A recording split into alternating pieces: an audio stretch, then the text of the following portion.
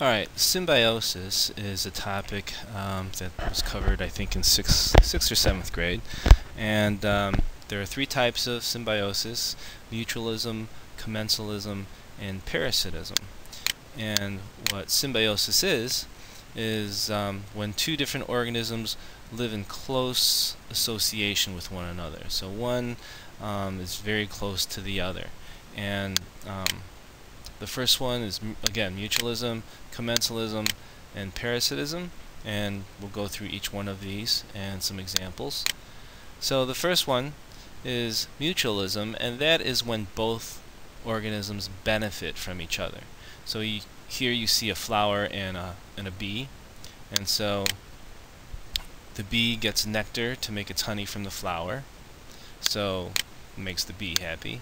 And then bees also deliver pollen uh, from one flower to the other and it helps the flowers to re reproduce. So that's a good thing for the plants and the flowers. Right? another example of mutualism is this clownfish and um, this weird looking thing called an uh, anemone right? And it's actually it looks like a plant but it's actually a sea animal. It's a creature.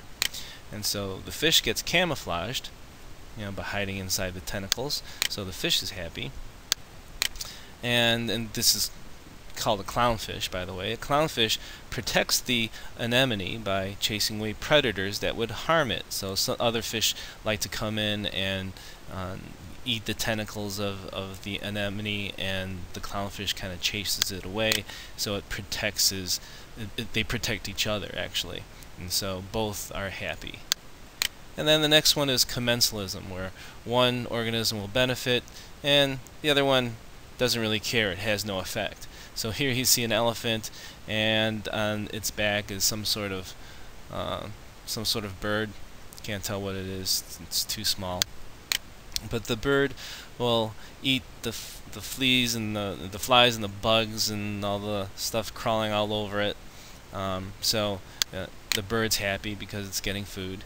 Um, but the elephant could care either way, right? Doesn't really care about the bugs, doesn't really care about the bird, so it has no effect. So he could care less one way or the other. So that is commensalism. And then the third one is parasitism, right? Where one benefits and one is harmed.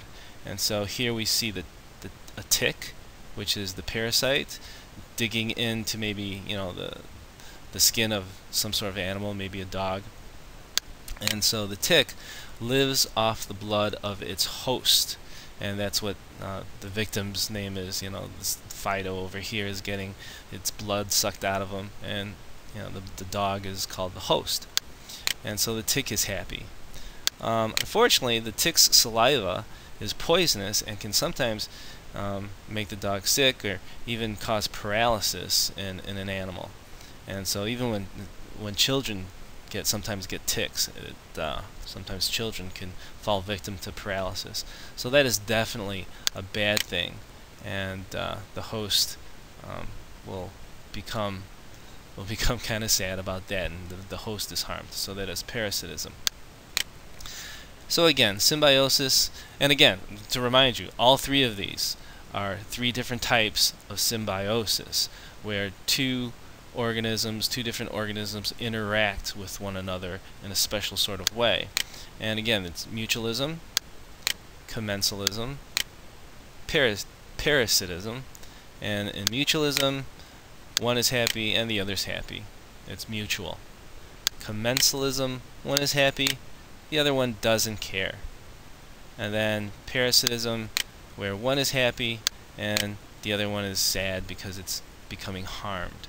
Alright, I hope that clears it up. And again, the definition of symbiosis and and um, its different categories. Um, if you look on the web, you'll see kind of different opinions. There's not always an agreement among scientists, but in general, I think um, this is the three most common categories that you'll see. All right.